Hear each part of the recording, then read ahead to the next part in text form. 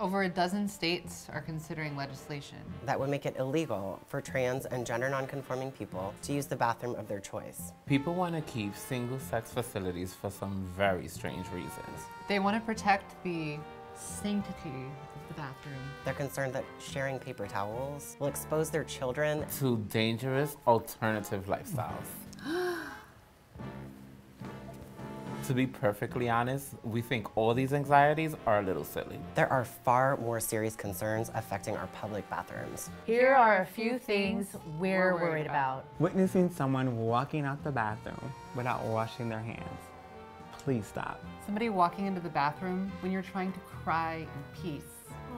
People seeing you through a slit in the door. Seriously, it's like the Eye of Sauron. Like, I always I look, look at, at the 'em. shoe. I look Oh, like, I always look at the shoe.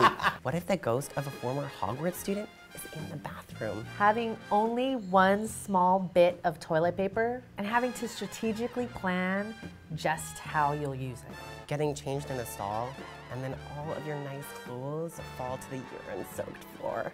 Having no paper towels and being forced to use those air dryers that were installed in like 1832. Wondering who in the room made that noise and then realizing, oh, it's you. when the geese is wild.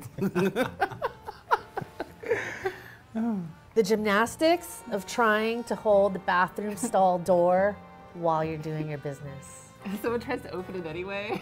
you're like, candidates, pay attention. Rebuild America's public bathroom infrastructure. Don't waste your time on transphobic bathroom bills. Don't build walls, build bathroom stalls. Worry about things that matter.